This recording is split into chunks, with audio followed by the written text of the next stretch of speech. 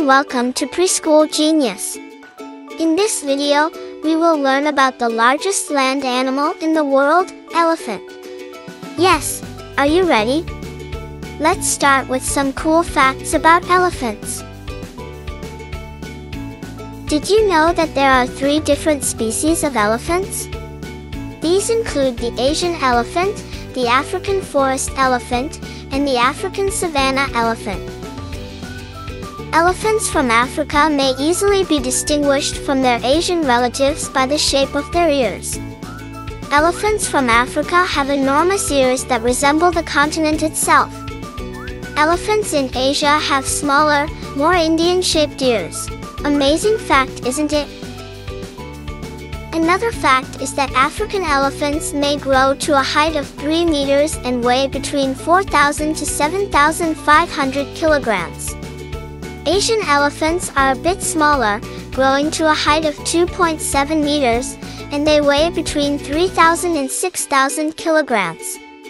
The fantastic thing is that elephant hearts typically weigh 22 pounds and have a maximum blood flow rate of 18 gallons per minute. Elephants mainly inhabit warm weather forest and grasslands. Africa is the home of African elephants. India, Sri Lanka, Malaysia, Indonesia, Thailand, and Vietnam are all home to Asian elephants. They have been reported to live up to 70 years old when given enough food, water, and little stress in their natural habitat. My favorite body part of elephants is their long and versatile trunk. Elephants have a long, adaptable trunk that may be utilized for various purposes, including picking up objects, drinking, bathing, grabbing food, and even serving as a snorkel while swimming. An elephant may also use its trunk to trumpet loudly as a warning if it feels threatened.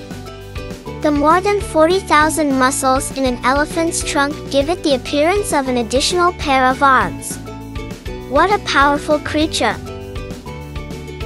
Did you know that looking at an elephant's tusk might reveal a lot about them? Huge tusk might be an indication of an elderly elephant because elephant tusk never cease growing. Male and female African elephants both have tusk, while only male Asian elephants have. An adult elephant with no tusk is most likely a female Asian elephant. Elephants migrate or travel in search of food. They eat only plants including grasses. Each day, an adult elephant may eat 300 pounds of food and drink 200 liters of water. They may consume grass, herbs, and fruit for up to 12 to 18 hours each day. Very yummy. Another interesting fact is that elephants are incredibly intelligent animals. They are highly clever, emotional beings with the most extraordinary brain of any land animal. Only elephants have been found to be able to identify themselves in a mirror. Elephants also can recall things well. They recognize distant relatives and remember places to find water. With their intelligence, they can create their very own sunscreen. They will cover themselves in mud and sand to shield their skin from the scorching heat after taking a bath in a river or marsh. What a clever animal!